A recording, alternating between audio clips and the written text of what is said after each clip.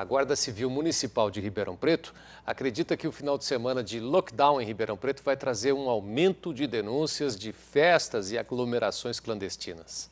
Bom, só neste ano a Polícia Militar diz que recebeu mais de 3 mil ligações informando algum tipo de descumprimento de medidas sanitárias. Mas tem muita gente ainda dizendo que não adianta nem reclamar.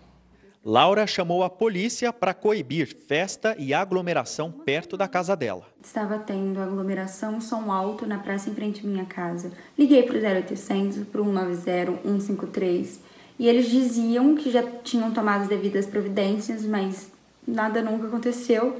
Depois de uma semana, ligando quatro, cinco vezes por dia, foi que eles apareceram lá e, e fizeram o que deviam ter feito na primeira ligação é que tem muita denúncia chegando para pouco fiscal, principalmente nos finais de semana.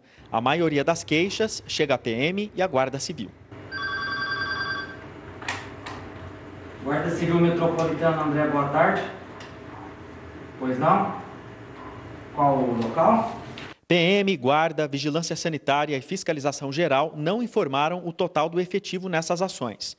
O superintendente da Guarda espera mais denúncias no fim de semana por causa do lockdown e garante que haverá força-tarefa para coibir aglomerações. A Guarda Metropolitana e a Polícia Militar são órgãos de segurança pública. Esses órgãos garantem que os demais órgãos, sejam eles a Vigilância Sanitária e a Fiscalização Geral, realizem o seu trabalho, que é esses órgãos sim é que vão poder autuar, multar essas pessoas que estão promovendo esses eventos.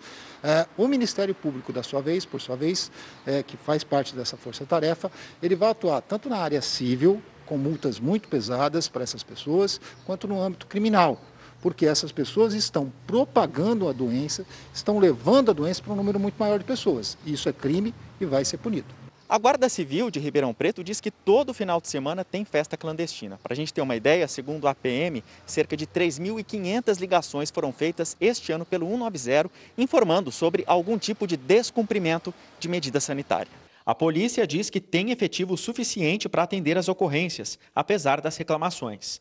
A primeira abordagem é para orientar os envolvidos, mas os responsáveis por festas clandestinas e outras infrações podem ser punidos. Caso esteja é, cometendo um crime ou uma infração, aí sim a gente tem as medidas decorrentes dessa, desse crime ou desse delito que, por, porventura, possa acontecer.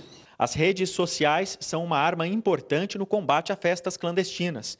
Este perfil no Instagram, com mais de 350 seguidores, foi criado por voluntários com o objetivo de denunciar esses eventos em Ribeirão Preto e também as falhas na fiscalização para quem preferir, aos canais tradicionais de denúncia. A população tem os, os, meios, né? E a gente sempre indica que utilizem-se dos, dos meios telefônicos, do 190, que é a Polícia Militar, o Serviço de Emergência, o 181, que é o Serviço de Denúncia, e também temos o 153 da Guarda Municipal, que também está trabalhando em conjunto na Força Tarefa com essa finalidade.